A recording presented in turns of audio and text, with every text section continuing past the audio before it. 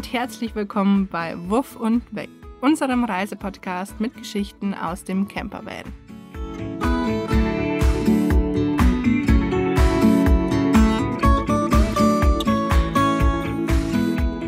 In der heutigen Podcast-Folge geht es um das Thema Wieso Vanlife und Wieso jetzt. Aber wo fangen wir da am besten an? Ich würde sagen, es war einmal, nein, Spaß. Es ist ja kein Märchen, was wir heute erzählen, aber wir müssen zu dem Thema ein wenig weiter ausholen. Und da, glaube ich, fangen wir wohl am besten mit mir an. Hey, wieso fangen wir da nicht mit mir an? Ganz einfach, weil du damals noch gar keine Berührungspunkte mit Vanlife hattest. Also lass mich jetzt einfach mal kurz erzählen. Ja, stimmt. Das Thema Vanlife hast ja eigentlich du in unser Leben gebracht. Von dem her macht es durchaus Sinn, dass du anfängst.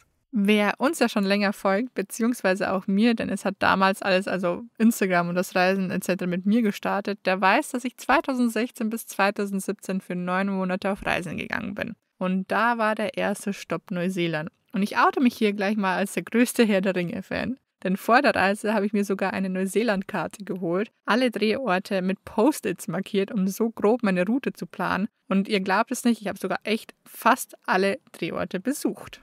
Ja, das stimmt. Sie ist da wirklich der größte Herr der Ringe-Fan, den ich kenne. Sie sammelt da irgendwie alles, was mit Herr der Ringe zu tun hat. Und auch schauen wir jedes Jahr die Filme mehrmals an. Und eigentlich darf man das gar nicht laut sagen, aber wir schauen immer die Special Extended Edition an. Und das eigentlich immer abends, wo dann gefühlt jeder Film über vier Stunden dauert. Und ich habe es bisher immer wieder geschafft, dass ich nie den kompletten Film gesehen habe, weil ich immer dabei einschlafe. Wohlgemerkt hat er das bis heute nicht geschafft. Also er hat keinen von den drei Teilen zu Ende gesehen. Also er weiß nicht mal, wie es ausgeht. Aber kommen wir zurück zum Thema. Die vier Monate, die ich in Neuseeland verbracht habe, waren wirklich auch die schönsten Monate. Und dort habe ich damals meinen ersten Berührungspunkt mit dem Vanlife gehabt, denn ich habe mir meinen ersten Van Bob gekauft. Und ich kann euch gar nicht mehr sagen, welche Marke er war, aber er hat definitiv einiges mitgemacht und hat uns wirklich von A nach B getragen.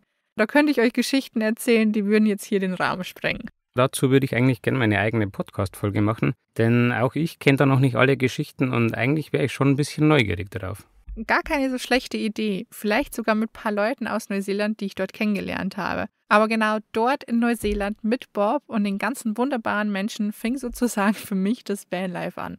Damals noch in abgespeckter Version, muss ich auch dazu sagen, denn einen Kühlschrank oder geschweige denn eine Trenntoilette oder eine Dusche hatte ich da noch nicht dabei. Es hätte definitiv einiges leichter gemacht, aber es war einfach eine Erfahrung, die ich nicht vergessen werde.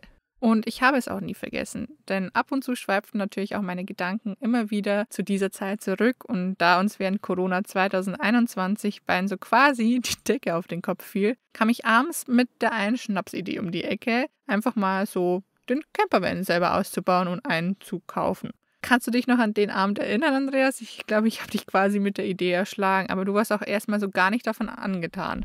Ja, das war auch irgendwie nicht nur ein Abend, das waren ja viele Abende. Du hast ja immer wieder mit dem Thema angefangen. Ja, es war mir einfach wichtig und da du von Anfang an irgendwie noch nicht so ganz begeistert warst, dachte ich mir, ich muss dich ein bisschen überzeugen von dem Thema. Ich glaube, ich habe dir mindestens einmal pro Woche Bilder vom Vanlife, vom Vanasper oder sogar von Vans zum Kaufen gezeigt, damit ich dich ein bisschen weich kochen kann. Aber es hat ja irgendwie geklappt, oder? Ja, das stimmt. Ihr müsst wissen, ich habe mit dem Thema Vanlife eigentlich bisher so noch nie Berührungspunkte gehabt. Und ich war zwar das ein oder andere Mal zelten, aber so richtig darüber nachgedacht habe ich da eigentlich nie wirklich. Ich war dann immer mit Hotelurlaub glücklich und konnte mir das eigentlich gar nicht so vorstellen, im Camper in Urlaub zu fahren.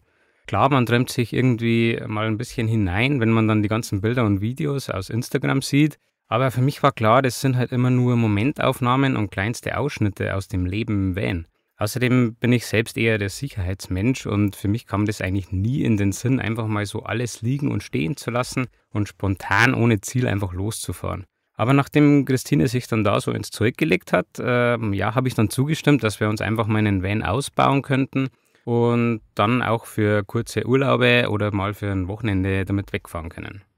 Gesagt, getan. Wir haben nach einigen Van-Besichtigungen, und ich kann euch sagen, es waren nicht wenige, unseren Van gekauft. Den haben wir dann ganz liebevoll Lotte getauft und äh, haben sie dann sechs Monate neben der Arbeit und am Wochenende ausgebaut. Es wurde dann zu einem Herzensprojekt für uns beide. Erstens, weil man in der Corona-Zeit eh nicht viel unternehmen durfte und zweitens, es hat uns die gemeinsame Zeit beim Van als Paar gut getan. Man steht nämlich dort vor einigen Herausforderungen, muss Neues lernen und vor allem muss man auch Kompromisse eingehen und lernt auch seinen Partner von einer ganz anderen Seite kennen. Aber seien wir auch ehrlich, nach den sechs Monaten waren wir echt froh, dass er endlich fertig war, um unser erstes Land zu bereisen. Die sechs Monate waren echt anstrengend, haben uns viele Nerven geraubt, aber es war auch echt schön, gemeinsam was aufzubauen. Und von dem her würde ich jederzeit wieder einen Van ausbauen, weil das gemeinsam was Neues erschaffen einfach echt Spaß gemacht hat mit dir. Lust hätte ich natürlich auch schon wieder darauf. Aber gestartet haben wir dann in Schweden und dann kam auch Norwegen, Dänemark, Frankreich, Schottland und noch ganz andere Länder hinzu. Und das alles aber während unserer Urlaubszeit. Und ich glaube, jeder Normale kennt das. Die Urlaubstage sind begrenzt und es gehört einiges an Planung hinzu, dass alles so klappt wie gewünscht. Vor allem, wenn der eine Part in der Beziehung remote arbeiten kann und somit gar keine Probleme mit dem Vanreisen hat und der andere Homeoffice beantragen muss oder sich den Urlaub so legen muss, damit man vielleicht ein, zwei Wochen länger bleiben kann. Das ist schon sehr anstrengend eigentlich. Ja, vor allem, ich meine, die Teilzeitreisen während des Urlaubs waren schon auch echt cool, weil man da einfach immer Freizeit hat und so quasi seinen Urlaub dann voll genießen kann. Aber es hat halt auch den Nachteil, dass man dann einfach unglaublich schnell reist. Man fährt in kurzer Zeit einfach so unfassbar viele Kilometer, weil man von dem Land dann so viel wie möglich sehen möchte. Oder man hat dann auch schon einen sehr langen Anreiseweg. Und das schlaucht wieder zusätzlich. Und so schön Vanlife auch ist, Teilzeit mit dem Van wegzufahren in Kombination mit Fast Traveling, ist nicht wirklich entspannt. Man hetzt quasi von einem Stellplatz zum anderen, möchte am besten alle Sehenswürdigkeiten mitnehmen und dann die nächste noch dazu, weil der Gedanke da ist, wir sind ja jetzt hier. Also müssen wir uns das jetzt anschauen, denn wir wissen nicht, wann wir wieder halt zurückkommen oder wann wir wieder die Zeit haben, um ein Land nochmal so lange zu bereisen. Ja, das stimmt. Das führt dann dazu, dass wir nach solchen Reisen zu Hause ankommen und eigentlich immer noch total im Stress sind und dann schon wieder Urlaub vom Urlaub bräuchten. Dazu kam noch, dass in den letzten zwei Jahren und besonders dieses Jahr einiges privat bei uns hinter den Kulissen passiert ist, was uns vor allem körperlich und psychisch mitgenommen, aber auch aus der Bahn geworfen hat. Und ab dem Zeitpunkt haben wir uns mit der Frage als Paar auseinandergesetzt, wo möchten wir eigentlich in Zukunft hin und was wünschen wir uns eigentlich denn für unsere Zukunft? Denn so wie unser Alltag da damals gerade ablief und ab und an mal Urlaub zu machen, war nicht wirklich die Vorstellung von der Zukunft, die wir uns beide erträumt haben. Und dazu kam dann auch noch die Überlegung, ob wir uns unser Geld in ein Eigenheim investieren sollten oder jetzt doch lieber unser Geld in unsere Träume stecken sollten, um einfach mehr von der Welt zu sehen. Und ja, Eigenheim ist auch ein weiterer Traum von uns. Ich glaube, der bleibt auch noch bestehen. Aber ich glaube, da geht es nicht nur uns so, denn bei den aktuellen Preisen auf dem Markt sind wir es nicht ein, uns bis an unser Lebensende zu verschulden, ohne wirklich gelebt zu haben. Und dann kommt noch zusätzlich die Stimmung hier in Deutschland hinzu, wo wir uns mittlerweile irgendwie etwas unwohl fühlen. Ja, das Thema war mitunter auch ein Punkt, unabhängig von den vorherigen Dingen, warum wir genau jetzt mit dem Thema Vanlife anfangen. Ich meine, uns war beide von Anfang an wichtig, später mal die gleichen Vorstellungen zu haben und da gehört eben auch ein eigenes Haus dazu. Ja, damals war es noch etwas günstiger, aber du triffst halt auch nicht gleich nach ein paar Monaten Beziehung die Entscheidung, gemeinsam ein Haus zu kaufen oder zu bauen. Und gerade jetzt, du hast es eh schon gesagt, mit den Preisen und Zinsen aktuell macht es einfach gar keinen Spaß, ein Haus zu kaufen oder zu bauen. Wir haben uns ja schon näher mit dem Thema Finanzierung auch beschäftigt und hatten da sogar schon Gespräche mit Beratern, die uns dann erzählt haben, dass viele es so machen, dass sie im Fall des Falles dann einfach die Kinder die Raten weiterzahlen lassen. Und das war für uns immer ein No-Go. Dann haben wir eben jetzt lieber kein Eigenheim.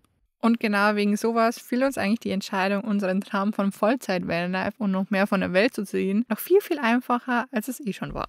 Allerdings hielt das zwar einige Hürden für uns bereit. Unter anderem mussten wir unsere Doppelhaushälfte kündigen, mit unseren Arbeitgebern wegen Remote-Arbeit reden, eine neue Base finden und so den Umzug wuppen. Und dazu kam noch der ganze Hochzeitsstress dazu, da wir ja im September geheiratet haben. Also eigentlich alles andere als stressfrei. Aber der Wunsch nach Vollzeit-Vanlife und Slow Traveling war einfach umso viel größer und stärker, sodass wir es dann durchgezogen haben. Und jetzt sitzen wir hier im Van und nehmen gerade unsere erste richtige lange Podcast-Folge auf. Zwar müssen wir das mit dem Slow Traveling noch ein wenig üben und verinnerlichen, aber das wird sicherlich, wenn wir nach Weihnachten Richtung Spanien und Portugal düsen. Ja, stimmt. Das äh, Thema mit Slow Traveling müssen wir noch ein bisschen üben. Aber wenn du mir vor drei Jahren gesagt hättest, dass wir später mal irgendwo in der Welt im Camper sitzen oder wie auch jetzt in Deutschland und einen eigenen Podcast machen, ich wüsste echt nicht, ob ich damals gelacht oder geweint hätte. Nee, Schmarrn, ich hätte es da einfach nicht geglaubt. Aber so wie das ja jetzt klingt, bist du schon irgendwie ein bisschen Feuer und Flamme, oder? Ja, schon. Es macht mir total Spaß. Sonst würde ich ja jetzt auch nicht hier sitzen und mit dir Podcast machen. Ja, das wäre ja noch schöner, dass du sagst, äh, wir machen einen Podcast, jetzt sitze ich hier und dann würdest du keinen Spaß dran haben. Ja, du weißt halt, wie du mich begeistern kannst. Und genau mit der Begeisterung freue ich mich auch schon auf die nächste Folge, denn da haben wir zwei Gäste an Bord, die wir zwar erst vor kurzem persönlich kennengelernt haben, mit denen wir uns aber direkt super verstanden haben und die auch bereit waren, mit uns eine Podcast-Folge aufzunehmen. Also seid gespannt. Falls dir unsere neue Podcast-Folge gefallen hat, lass uns doch gerne eine Bewertung da. Ansonsten würden wir uns freuen, wenn du unseren Instagram-Account The Perfect Mix besuchst und folgen würdest, denn da kriegst du dann mit, wann die nächste Folge von Wuff und Weg mit Geschichten aus dem Campervan online geht und welche Abenteuer wir so momentan bestreiten. Also bis zum nächsten Mal. Ciao.